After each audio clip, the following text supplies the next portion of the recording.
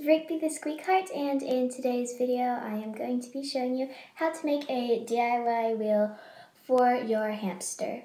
So as you may or may not know, Syrian hamsters are the largest species of hamsters which means they require at least an 8 inch wheel to prevent them from arching their backs. Some larger Syrians may even need 10 to 12 inch wheels. But when you go to a pet store, the wheels are so expensive. If you get an 8 inch wheel, it can cost you 15 to $20, and that is even one of the cheapest. So, today I will show you how to make a wheel using a container that you can get from the dollar store. Today, you will be needing a round plastic container with a lid and it must be wide enough and deep enough for your hamster to comfortably run in. You will also need some cardboard, pliers, some metal um, wire coat hangers, and scissors or a utility knife. The first step is to use your pliers to straighten out your coat hanger.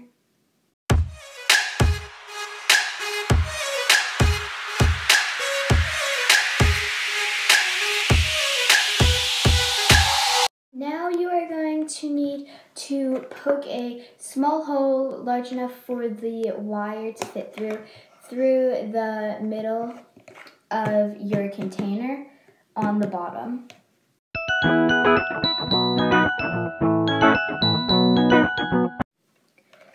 Okay, once you have completed that step, if the inside of your container is really smooth and slick, you can sand it with sandpaper so that your hamster won't slip once they're inside the wheel.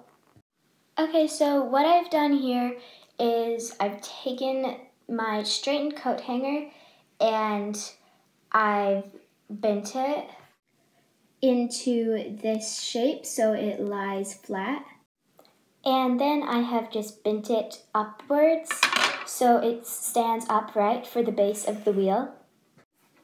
And it formed an X up at the top. And I'm now taking one of those pieces from the X and twisting it around this wire.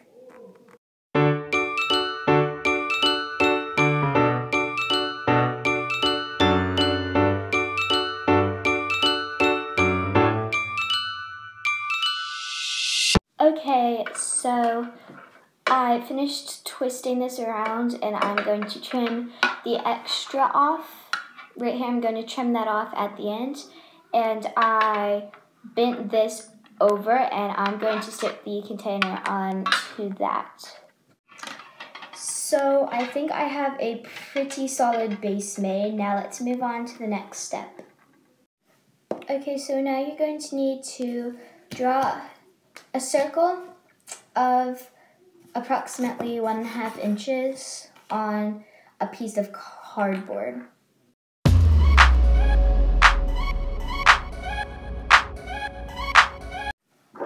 There you go. So now use this wire and poke a hole in the center.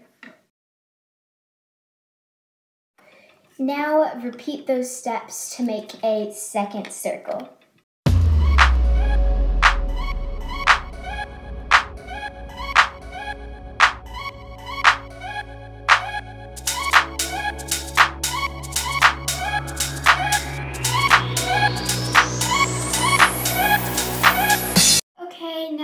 You've done that, you are going to take your utility knife and poke a hole through the center of the lid large enough for the wire to fit through. Now it's time to assemble our hamster wheel.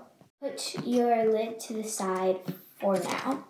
You are going to stick one of your cardboard circles onto this part of the wire. And next add the container.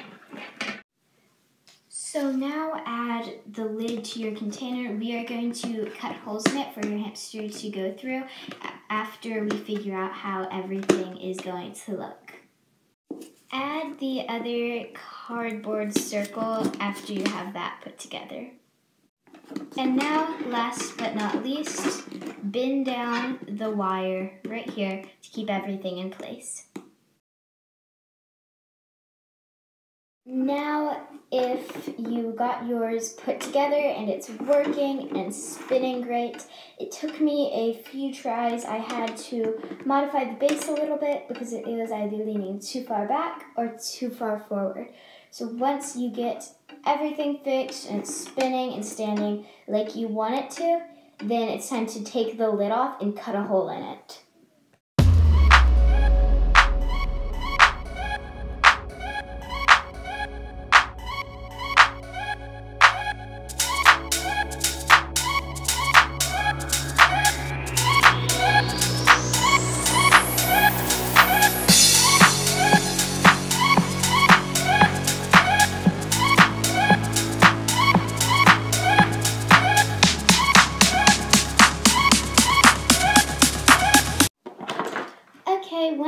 Done that, let's put it back together.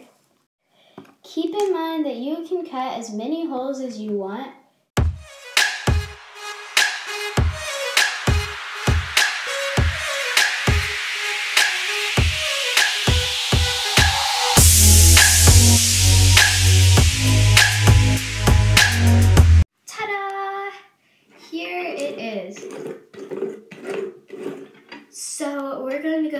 upstairs and see how the little hamster likes his new wheel. Okay, so now this is going away. We're not going to see that again. Because I'm really hoping that this works. Oh no, don't be too tall. Ta-da! I thought for a second it was going to be too tall for the cage and I was scared. Since this little cutie pie is awake, we are going to see how he likes his new wheel.